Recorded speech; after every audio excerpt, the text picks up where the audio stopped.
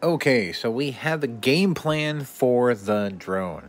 Now, right now we're running, uh, I think it's a 30, 30, 40 or 30, 60 6S motors in, in this right now, the ones that are shot with the bearings and everything.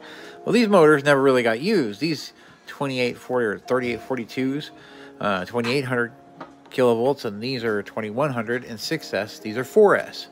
But I have a 7200 milliamp 4S battery that's ADC. So we're going to run that in here, replace the 6S with the 4S, and see if we get the same performance, if not better, and see, just to see what happens.